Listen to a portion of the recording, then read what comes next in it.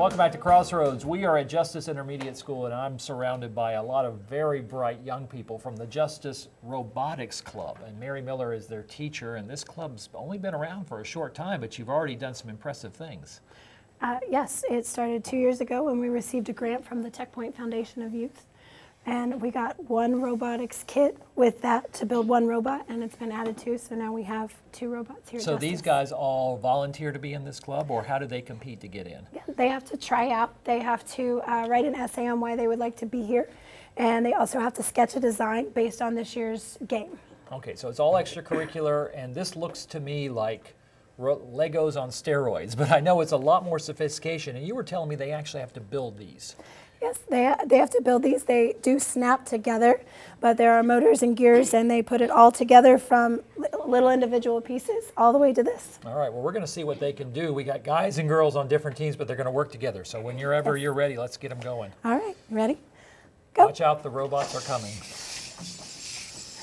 Oh my goodness. Well, somebody's ahead. Now they're not actually racing in this case, are they? They have a common goal.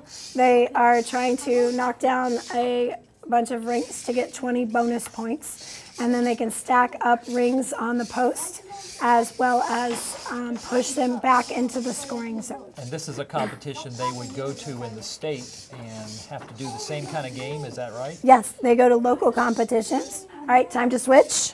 And now they switch drivers at 30 seconds, Yes. and that's part of the competition rules too. So Yes. we're, we're trying to work together so they can release the big thing of rings at the end.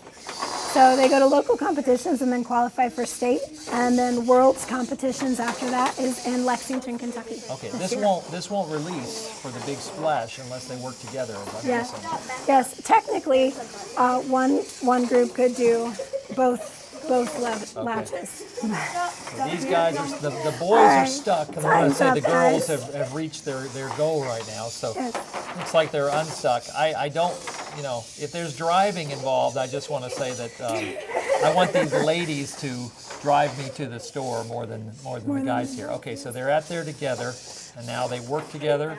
Yes. All right. Looks like the girls' lever is pretty close to undone. Don't set it back up there, gentlemen. Okay. Go ahead and try to unlatch yours. And they're going to go try Ladies, to looks unlatch. like yours might be. Very close, very close. guys are still. These are the guys who are running this like a PlayStation controller, controller, and It is very much like a PlayStation still haven't controller. gotten there. Now, he's, now they're working together. All right, girls, go knock over your lever. The girls are going to go do theirs. Now the driving problems have switched switched to the Yeah. girls.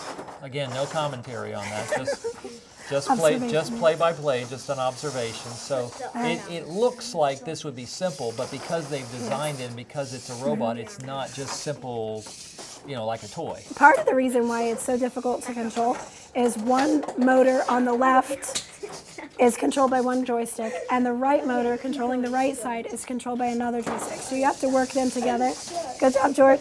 You put a ring up on the post. Uh, someone's putting a ring on the post, Yes. and the girls are still trying to Oh, release. almost there, almost there. Yeah, so they're going back. Still haven't quite got it.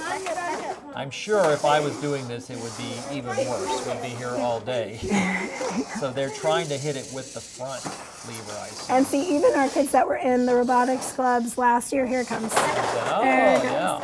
Uh, even the kids that were in the robotics club last year, it's a whole different robot, so you have to relearn how to drive them. And this is just the control of it. They actually are going to do programming of it in the future. Yes, yes, programming will start now that the robots are together. They'll start right away. And they and they're judged on all the different skills, not just not just Yeah, you can get lots of various different awards. You can get the engineering award for the best robot design. You can get um, the programming for autonomous mode, and you can get the driver's skill challenge and the teamwork challenge. So it's a complete thing. It's not just this race that you've seen there. So thanks, Mary Miller, and thanks for the demonstration. And these guys are going to keep learning all year. What a wonderful way to make learning fun and dealing with the technology of tomorrow. Just work on those driving skills, guys. We'll get.